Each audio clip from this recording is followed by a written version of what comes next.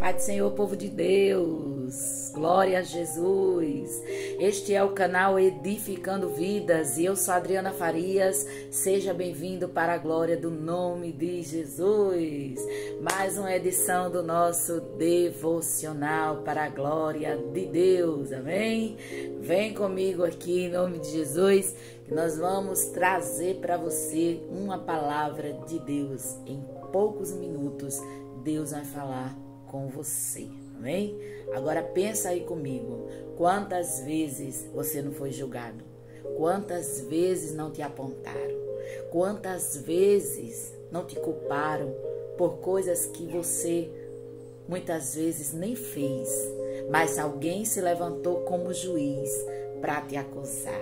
É sobre isso que nós vamos falar hoje aqui no nosso devocional para a glória de Deus. Este é mais um novo quadro do nosso canal aqui, Edificando Vidas. Você que está chegando agora, se inscreva no nosso canal, compartilhe nossos vídeos, acione, né, ative aí o sino das notificações para que toda vez que a gente postar algo aqui no nosso canal, você ser notificado, avisado, convidado para sim assistir os nossos vídeos e ser edificado pelo poder da palavra de Deus. Esse é o objetivo deste canal, Edificando Vidas. Eu sou Adriana Farias e vou estar aqui compartilhando com você um pouco da palavra de Deus. Amém? E vamos lá. O nosso devocional de hoje, dia 15 de janeiro de 2023, vai estar lá em João capítulo 8, Evangelho de Jesus Cristo, segundo escreveu João, capítulo 8, versículo 7, que vai dizer assim a palavra de Deus: E como insistisse, perguntando-lhes, endireitou-se e disse-lhe: Aquele que dentre vós está sem pecado, seja o primeiro que atire a pedra contra ela. Meu Deus, essa passagem bíblica, Jesus estava no templo, louvado seja o nome do Senhor. E ali os fariseus e os escribas pegam uma mulher em adultério, louvado seja o nome do Senhor Jesus. E ela é apanhada em flagrante e é levada né, ao público para ser ali apedrejada, como dizia né, a lei de Moisés na época, louvado seja o nome do Senhor Jesus. E ali, aquele povo questionaram a Jesus, tentando intimidar a Jesus. Perguntaram para ele o que é que ele faria, ou o que é que ele achava que era para ser feito contra aquela mulher. Jesus escrevendo na areia, no chão, Jesus ele faz uma pergunta para eles: quem dentre vós não tem pecado? Se algum entre vós não tem pecado, atire a primeira pedra. Que coisa maravilhosa. Louvado seja o nome do Senhor.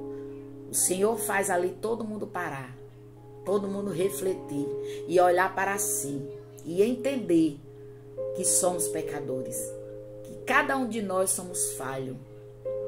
Temos as nossas fraquezas, temos as nossas limitações.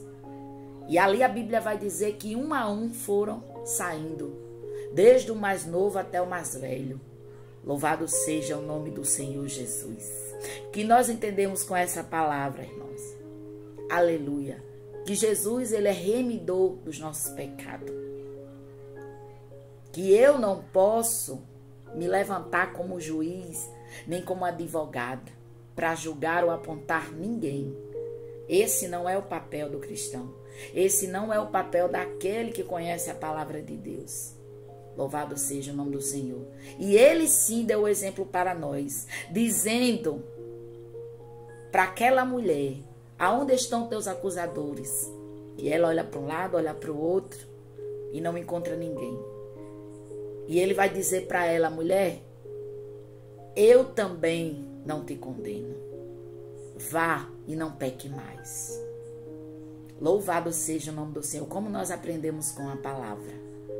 Enquanto muitos se levantam para nos acusar, para nos apontar, para mostrar o nosso erro, Jesus, ele se levanta para nos dar oportunidades, para nos perdoar, para nos libertar, para nos ajudar. Louvado seja o nome do Senhor Jesus.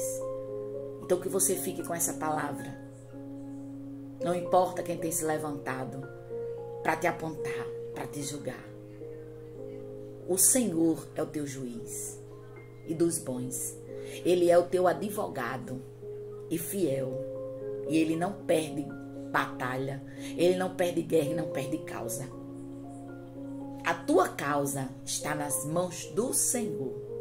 Creia tão somente. Guarde essa palavra no seu coração. Somente Deus pode julgar a minha causa. Só Ele conhece verdadeiramente as minhas falhas. E Ele é misericordioso para perdoá-las e para, louvado seja o nome do Senhor, libertar-me de todo o pecado. Porque pecado nada mais é tudo aquilo que desagrada a Deus. Fica com essa palavra em nome de Jesus. E não se esquece, se inscreve no nosso canal, compartilha este vídeo para alguém, em nome de Jesus. E saiba que você tem um juiz. Amém? Que Deus os abençoe.